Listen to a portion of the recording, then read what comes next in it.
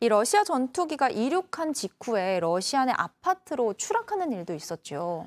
네, 러시아의 전투기가 우크라이나 주변 국경지대에서 이륙 직후 추락해 아파트를 덮치면서 대형 화재가 발생했습니다.